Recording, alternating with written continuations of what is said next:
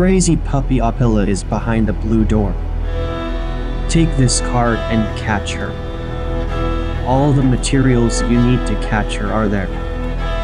You know how dangerous he is, so you have to set a trap.